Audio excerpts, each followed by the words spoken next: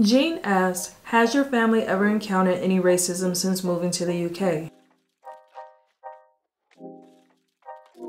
Hi, I'm Blair. And I'm Mac. Today we're going to do a recap of our first year of living in the UK. One year. We've completed an entire year. Actually, we're past a year at this point. We're a little bit past that point, but we have lived outside of the United States now and in the UK for a year. And we just wanted to talk about what it's been like. There's some questions that people have submitted to us. We did a community post and a lot of people submitted questions. And to everyone who submitted questions in that community post, thank you for those questions. What we want to do, we want to just talk about those questions, talk about our experience a little bit of what it's been like for us and our family living here in the UK for one year. Yep. So before we get into the questions that were submitted, how's it been for you? First year. First year has been good. Um, it's had it's been a lot of fun, like uh, learning and and doing things, acclimating to how things are done here in the UK. Um, yeah, I wouldn't Yeah. change a thing about it. Yeah, so yeah, the first year uh, has definitely been different. It's been a it's been a unique time for us to all be living in, but it's it has been well. It's been a really good year. We're we're in England. We enjoy it. We have been able to take a trip up to Scotland as well, and Scotland is beautiful. We're looking forward in 2022 to making it to Wales and Northern Ireland. Uh, we're looking to continue to travel around the British Isles. But I would say that year one has been good. The kids are in school, they're thriving, they're doing really good. yeah. Uh, our youngest is really picking up, I would call it a British accent. Yes. He's only four. Uh, so we, we're getting like, we're getting, uh, we're getting, getting to that point now. Yeah. So, do you regret moving? No, no. I don't regret moving at all. Um, we wanted to have new experiences, different experiences as a family. This has definitely been the opportunity to do that. Um, since moving here, we've had a ton of time to be able to be together as a family, experience different things together, and just enjoy each other. Yeah, we had some clear goals and objectives uh, when we wanted to move uh, to the UK, when we wanted to leave the United States for, for work to come over here. We had some clear goals and objectives. I think we were doing that. One is that we really want to make sure we got our kids into good school systems, and we've been very pleased with the schools and the education that our children's getting. So that was a big thing for us. We wanted opportunity to kind of get away from some of that hustle and bustle and also we wanted to be able to see the world a bit more. I'm very interested in a lot of different topics, to the castles, things that you've seen if you look at this YouTube channel. If you go through the playlist, there's a playlist dedicated to castles, there's a playlist dedicated to cities. You know, we've made it to Portugal so far this year. Uh, we want to continue to, you know, push into Europe hopefully in 2022 and go and visit other places. So we felt like the UK would be a wonderful place. But we were pleasantly surprised and shocked actually at how much it is to do here Yes. on the island Yes. is uh, is a lot. There's so much more than I think we anticipated before we got here. But hey, let's kind of work through some of the questions. We had a lot of questions, a lot of uh, things that were submitted. Let's let's work through those and see if we can kind of answer some of those questions to for some of the people that that asked them. Okay. So, first up, we have how do you feel about the work life balance in the UK? Work life balance is uh, is good. Uh, we used to drive 55 miles, or Blair did it especially. I, I did it for a while, but Blair did it 55 miles one way to get to work in the morning, 110 miles a day, and our commute now is about 15 minutes. So we went from an hour, hour and a half commute to 15 minutes. Right. And uh, at the end of the day, we're also home in about 15, 30, 40 minutes. You got to go shop and pick up the kids or whatever. But just, I think it's been wonderful. Uh, I have no complaints about work-life balance and workload and things of that sort. This That's been really good. Good experience. Yeah. I will say the kids, um, their commute is much shorter. We get to see them off in the morning. We get to pick them up in the morning. So all of that has worked well for us, and we've been happy that it's worked well. Yeah. Um, next question How do English people react when they hear your accents? Most people don't hear it, and actually, it takes a couple of sentences before they catch on that we're not from here. Yeah, I I don't find that many people catch it in the first couple words is is when you, you which you're having a, a longer conversation. But really, it's always been well received uh, when people do notice. Say, "Oh, your accent." It's like, "Oh yeah, you're American." Yes, I'm, I'm, American. Oh, where are you from? And then everyone wants to talk to me about, or you know, talk to myself and Blair about where are we from in the states. And a lot of people have family members and friends who are in the states or they visited the states. Typically, places like New York City, Texas, and California, Florida. Um, those are the big places that most people always talk about where they've been. We've been to those places as well, so we had little conversations about it. But it has never, I've never had any experience of of any negativity. Uh, it's always been very positive. Everyone's kind of, uh, people are excited, so especially when we when we were in Liverpool. Mm-hmm. When we were in Liverpool. I don't know if they run into a lot of Americans there, but it was, it was a lot of people who seemed pleasantly surprised to hear the yeah. American accent. It's in, in, Liverpool. Oh yeah, like like Mac said, it's really surprising to hear how many um, British people have been to the United States, and then when you start talking to them, they start and they name states like Arizona or Montana, and you're like, wow, that's yeah, I yeah. haven't been there yet. I did meet a nurse who had spent several years in Arizona and actually in Arkansas, where I'm from, and that was shocking. Like you've been to Arkansas? No one goes there. So uh, that was that was that was good. Stefan asked what we would like to hear uh, your your best impression of a UK accent um, from the places that we visited. So when we hear the accents, we yeah, we definitely can't tell you the difference between a, a Birmingham a Birmingham or a Leeds accent. I I can't. Um, I can do the accent for maybe a sentence, but it, it, it quickly fades. Yeah, I can't. I can't either. Uh, is I can definitely hear differences when you get further away. Say that the Scottish accent was much different than what we hear, and then the London Cockney accent is very recognizable. We're we're here in the, the Midlands, and a lot of times I don't even hear the oh, accent when I'm talking to people. And as far as me doing a British accent, I'm not. I don't think I should embarrass myself like that. It is not. It is not good. I've I've tried it only at home, and it, and it doesn't. It doesn't. Give me give me a little more time before I foray into trying that. Yeah. Um, what are one or two things that our family cannot wrap our heads around about British society? Um, most everything we can we can understand or we see why it's done that way. Like, yeah, there's a there's a couple things that um, that that are shocking, and and you know what? I wanted to do a different video on this, but I'll talk about it a little bit right now.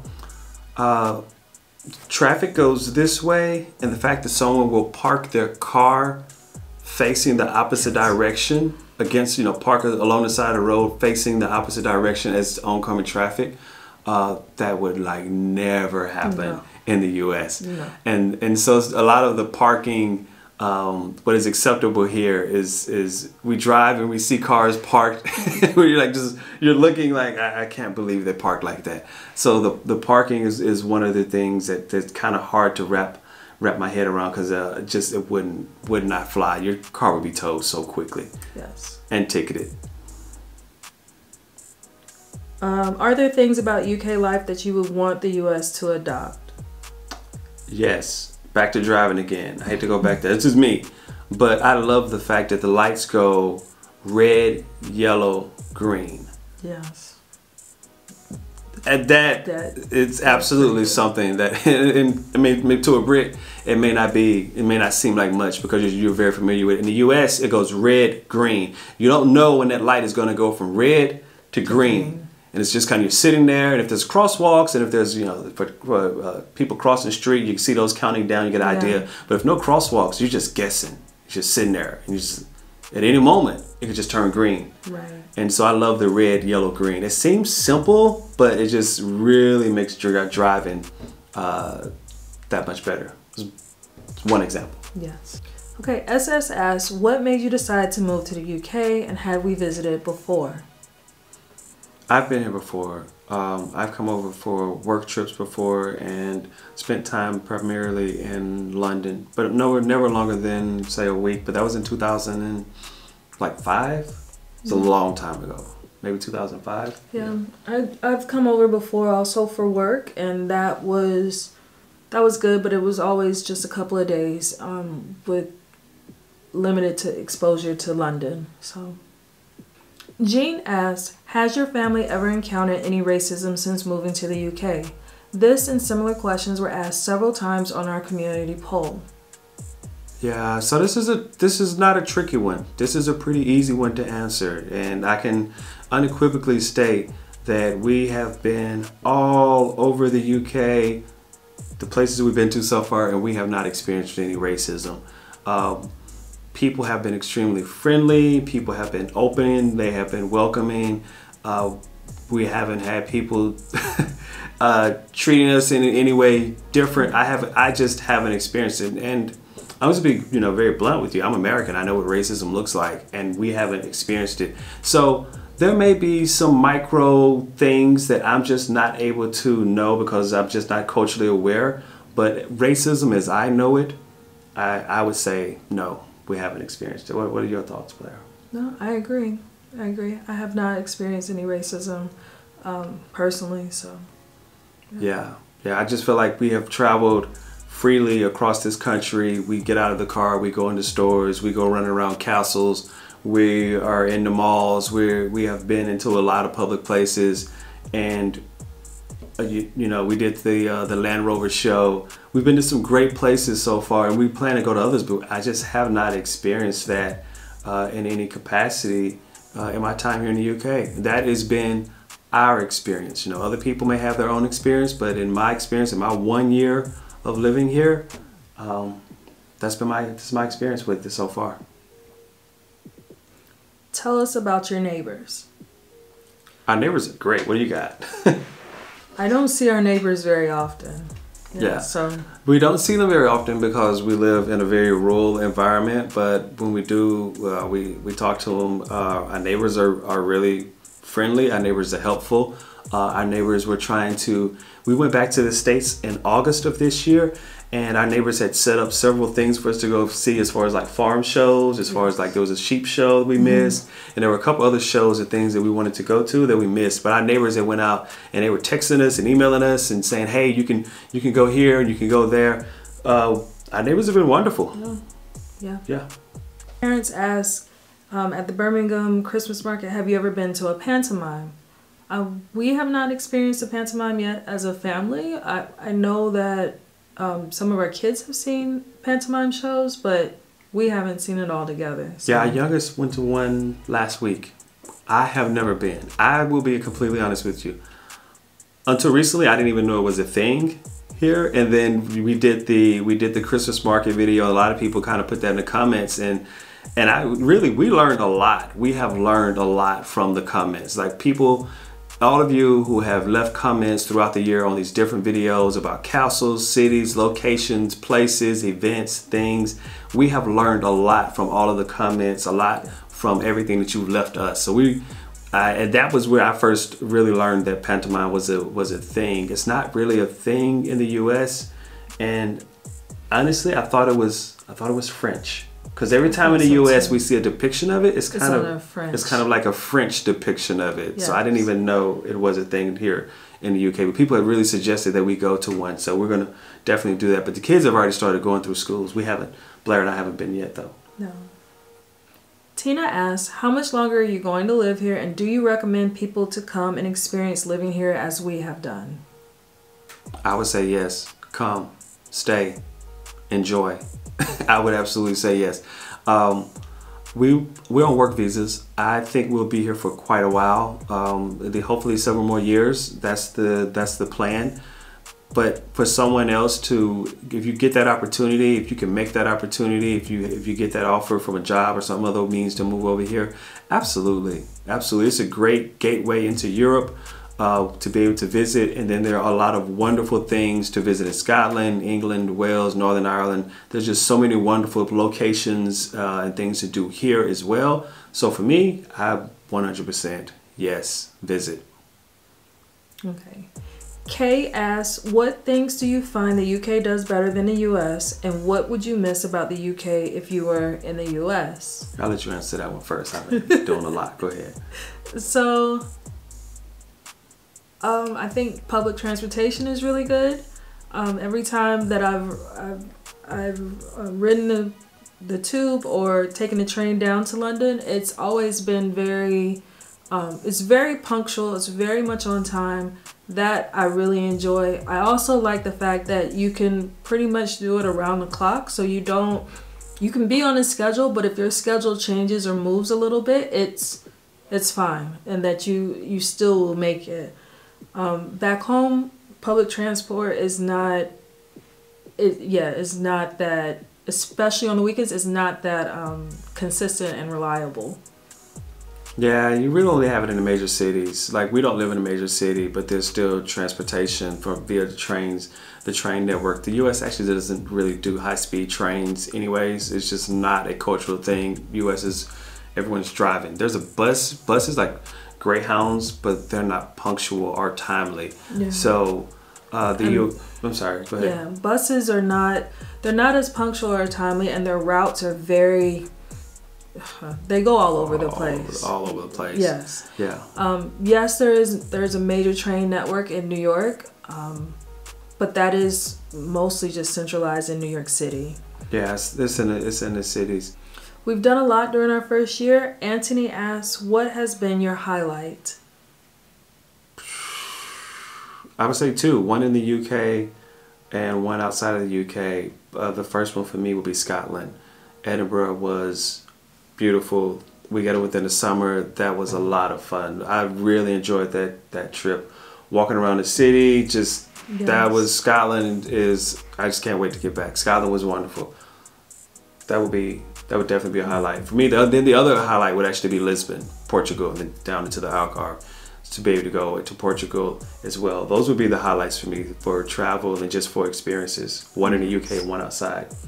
Yeah, I think I liked um, the the highlights. I think Lindisfarne. I really liked the um, experience during a, a driving, a staycation vacation where you drive or cross country or across the country. I really liked it.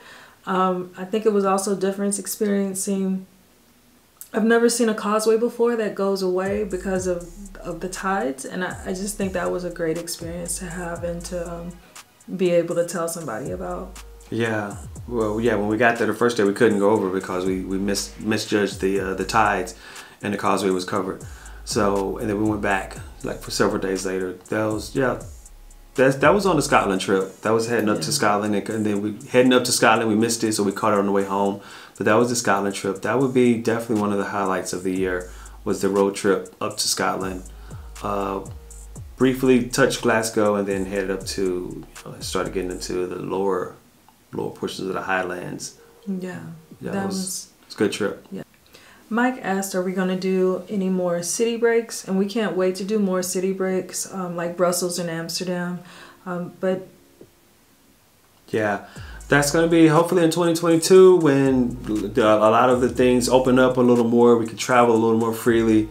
That again is one of the one of the benefits and joys of living here in England. It gives you the opportunity to fly very easily and quickly within a couple hours into into uh, into Europe. So that is something that definitely is on the plans uh, in the books for us that we want that we really want to do. And then we have a list of UK cities that we still need to get to, and I want to get down into Wales. I think I mentioned before, so we're gonna get down to Wales. We still have to get to Manchester. There's a lot of places, and then Cornwall. Oh, yeah. So I don't want to start naming places because I'm gonna miss some, but there are definitely a lot of places still uh, that we need to get. Bath up into York. There's just so many places here that we haven't been that we want to experience as well. So locally within the UK, yes, a lot of places, and then broadly across Europe, we're we're looking forward to those experiences in the new year as well. yeah. So Maria Lane asks, "Since living in the UK, what British habit have you picked up that you will continue even when you return to the States?" Yeah, what do you have for that one? Um, probably carrying bags or taking bags, like when we go to stores. Yeah, that'll definitely continue um, just because it's helpful it's useful and uh, yeah it's helpful and useful and it just makes sense uh, and also uh, probably more recycling. Like definitely probably more recycling. Yeah, I think you know the U.S. is a little behind on some of those things, but definitely the bags and a lot a lot of the other. We now do we have two recycle. We have a recycle.